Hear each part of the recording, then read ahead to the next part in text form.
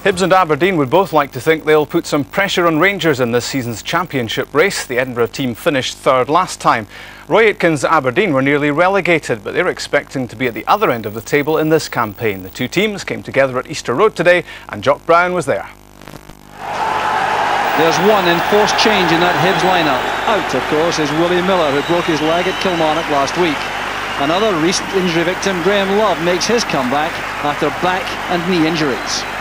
Manager Alec Miller now operates a three-man central defence with Andy Millen sweeping. Chris Jackson is likely to patrol the right flank and Graham Love the left, with McGinlay, Jackson and O'Neill supporting the front two of Evans and Wright from the middle of the field. Aberdeen manager Roy Aitken names the same starting 11 for the fourth consecutive time, and they will operate in a 4-4-2 formation. There's great interest in the functioning of the midfield four, Miller, Jess, Hetherston and Glass are all skillful, creative players, not renowned for tackling, but they'll have to battle back to defend when required.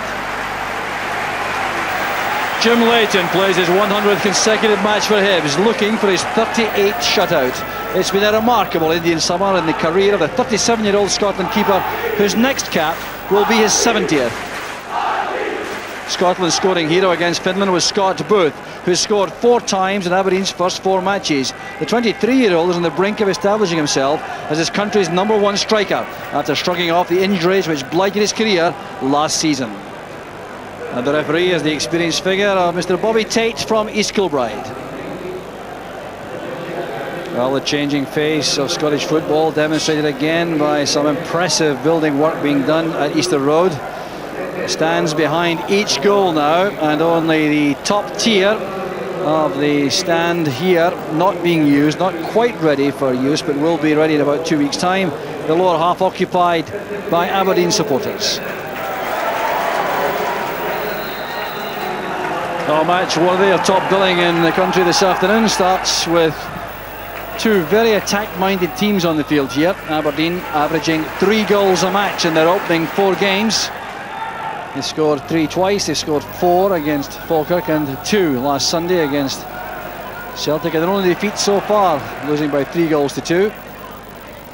Hibs also with just one defeat. That shocker in the Coca-Cola Cup against Airdrie away, losing by two goals to nil. Otherwise, showing good form. 3-0 victory last week against Kilmarnock.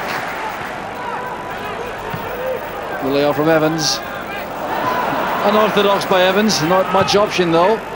Just sliding it in there. There's Scott Booth with a header. He did well to get to that under severe pressure from Gordon Hunter.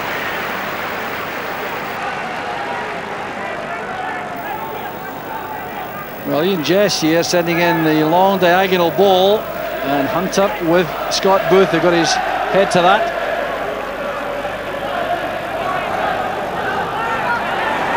Sharp play by Darren Jackson. Here's Love starting his first match since the 10th of December when he was injured against Falkirk. Joe Miller in the counter-attack. Pat McGinlay trying to get back. That's very good play by McGinlay. Well, they covered fully 50 yards there to make that challenge on Miller.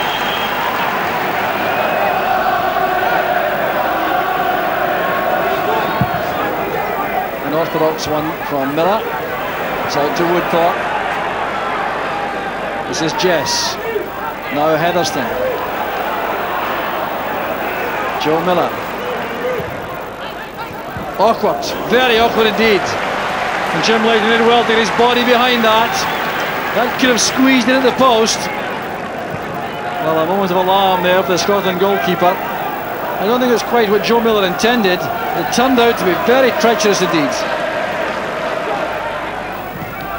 Last playing it early, Millen sweeper. Strong challenge again by Inglis. This is Keith Wright using his pace. He's away from Woodthorpe. This great play by Wright. Michael O'Neill arriving late in the box. Evans already there. That's for O'Neill. Fine effort. A great block in the second attempt by Snelders. Turned away there by Stephen Glass.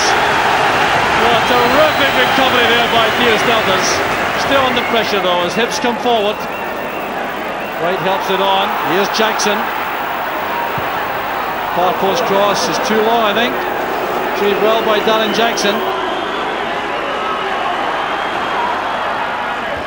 Driver Evans. Here's Dodds back helping in defence. Relieving the pressure. Booth on his own. Well tackled by Millen. Well, that was great play there. At the other end, Pat McGinlay controlled that shot superbly. It wasn't held by Theo Snelders. Michael O'Neill was quick. He thought he'd scored, but Snelders made the save.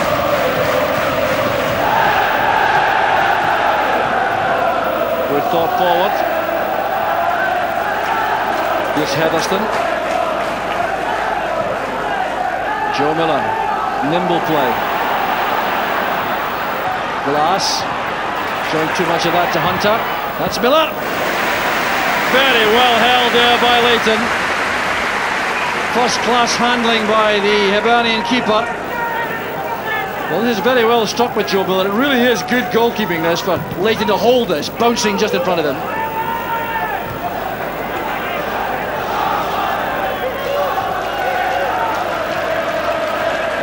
Hibs playing a lot of passes. Patient in the build-up.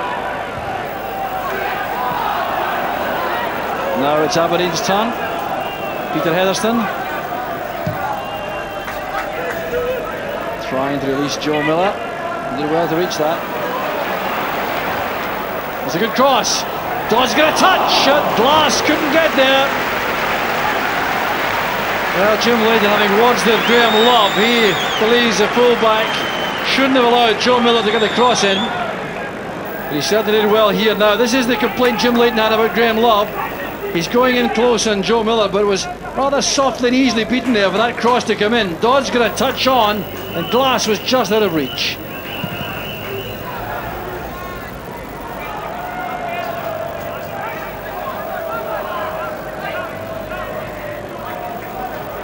Andy Millen at the back.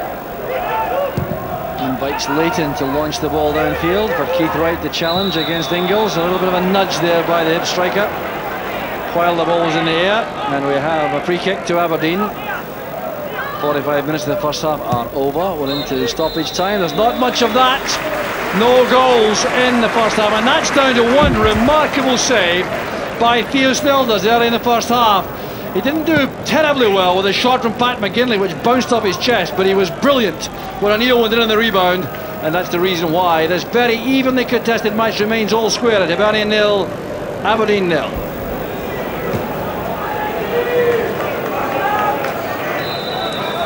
Hibs playing down the Easter Road slope for the second half. They'll welcome that opportunity. And there's Keith Wright going through instantly. A chance to get past John Inglis, who stood up strongly there. And the linesman being invited to have an opinion as to whether or not there was handball there. Well, John Inglis under severe pressure here. See, as the ball is played through here, it's Pat McGinlay who plays the pass. They're trying to get Keith Wright between the central defenders there. There was the challenge across. There was a hand used. That's the question. The referee and linesman said nothing wrong with that. It's a poor kick out there by Snelders. Here's Darren Jackson. Trying to make space for a shot at goal. Well, a very quick start by Hibs. Well, very loose play there by Theo Snelders in goal, and Darren Jackson had that chance to put Hibs ahead. Here's Jess.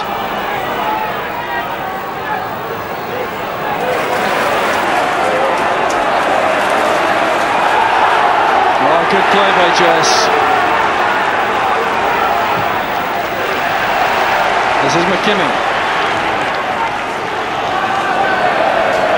Joe couldn't get there. McKimmie's disappointed in the pass. He knows he should have made it easier for his teammate.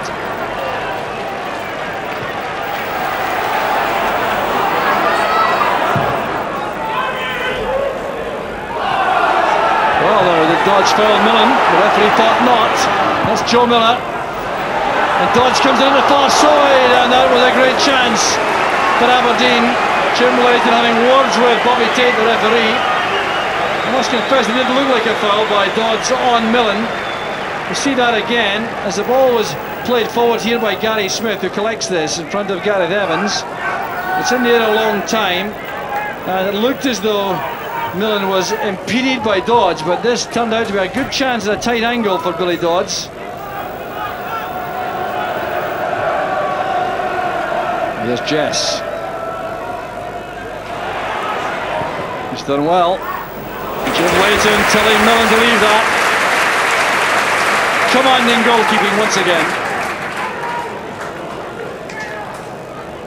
Well, this could easily have gone wrong here had the understanding not being good between the two defenders, but very good footwork shown again by Eoin Jess. And then it was taken by Leighton. Well, something required, I think, to change the pattern of play for both these sides. They're going to win this match. It looks as though it could have run out of stalemate. We're past the three-quarter mark in the game. And here's Duncan Shearer being introduced to replace Scott Booth, who's been the victim of one or two heavy tackles. Although the impression is given there was not too happy to come up. That's a good sign. He shouldn't be happy about that. On comes Shearer. Can he win the match for Aberdeen?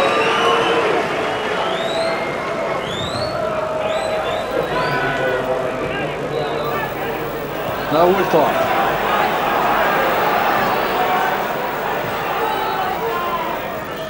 Stephen Glass. Good play, heading the byline.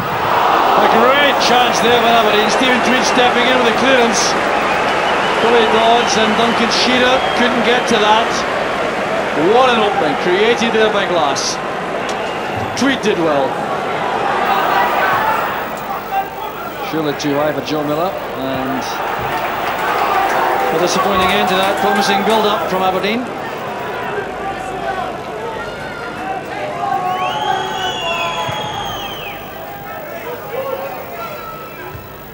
With the header. Shearer's layoff. Joe Miller. There's Shearer. Terrific goal from Shearer. No answer at all from Jim Leighton.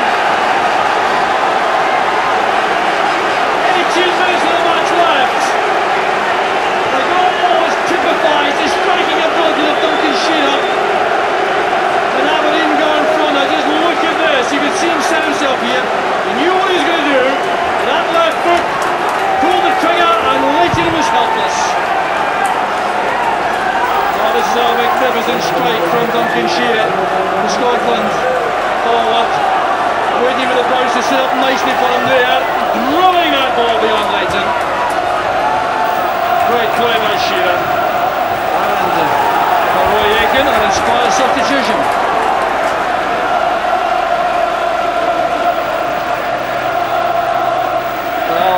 Shearer special.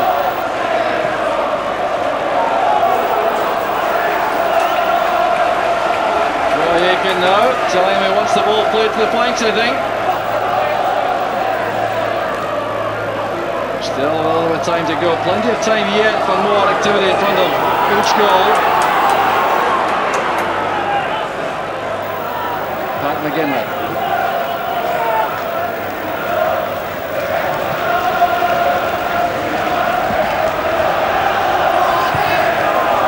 Thorpe makes the clearance. Retrieved here by Millen. Now Tweed. Well,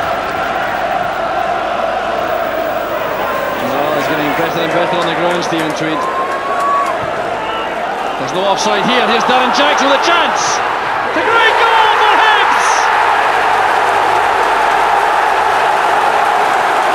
16 minutes left.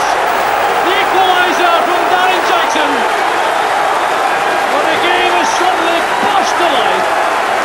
Andy Millen doing well here with a great pass through the inside right position. The back four was got square, Jackson was onside, and that's a superb finish. Well, Aberdeen have looked dangerous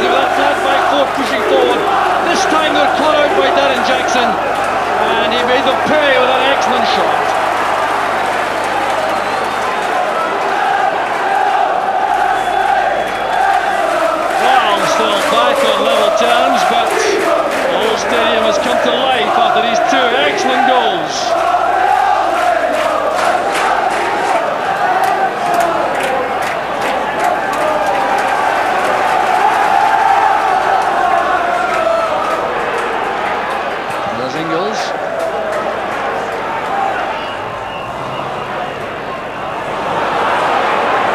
Well taken down by Jess.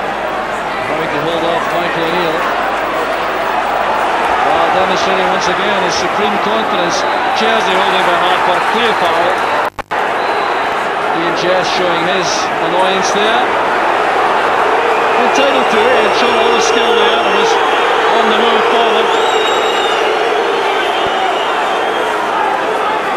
Well, some great play here. Jess turning and twisting, moving away going in front of Kevin Harper, and then the jersey was pulled. That was really foolish foul to commit. This is Woodford, five minutes left. Looks like next goal the winner. Here's Glass, that's good running again.